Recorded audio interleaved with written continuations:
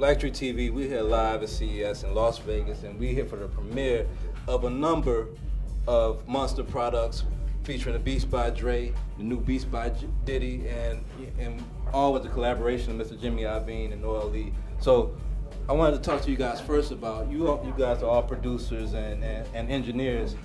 How important was it to make a, a quality quality headpiece that has fashion fashion sense too? Well, you know, there was a real hole in the market. You know, I feel personally that the degradation of digital music and the sound of it has really been as dangerous as piracy. So, you know, to make something that sounded right, it sounded the way producers hear it and feel it, there's nobody better than Dre to do that and start with Dre and have the, the, the standard set by Dre. And to get together with Noel and Monster and make this thing exactly the way it should be, I think it's the beginning of a revolution to go back to what great audio sounded like when people cared about sound, because sound really matters, and that, that, that that's where we're headed. We're, we're headed to redefine the ecosystem and get it back to where it belongs.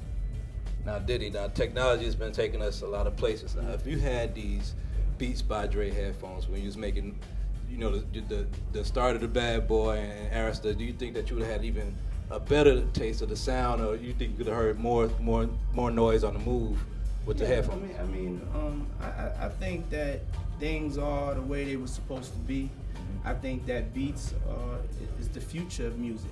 I think everything we did, we were supposed to hear it the way we heard it, and we were supposed to strive to get it to sound the way we wanted to get it to sound, through whatever ways we wanted to do that. Things have changed now, you know what I'm saying? Like, like, like you, you go to a movie now, you watch Avatar, that's a new way to watch a movie. You put on some beats, that's a new way to listen to music. It's the future of music, period, point blank. And it's the best way, it's the truth, it's the best quality, hands down. The rest is a lie. And Dre, a, a lot of uh, icons have, have went to fashion, tennis shoes, clothes. What was what was the impetus about behind you deciding to go behind technology and headphones to, to get behind Beats by Dre?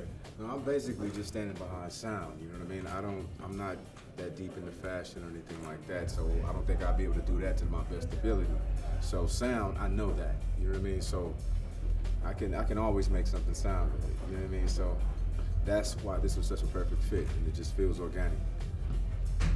And Mr. Lee, you you started Monster, and uh, you you've always been behind sound. Uh, how has the progression been? Did you ever see when you started that you would be like here with these icons making uh, musical pieces that everybody can use? Well, this is a dream come true, and you know our job is to take the vision that these gentlemen have and make it happen in an earbud and an over ear. Nobody had ever done it before.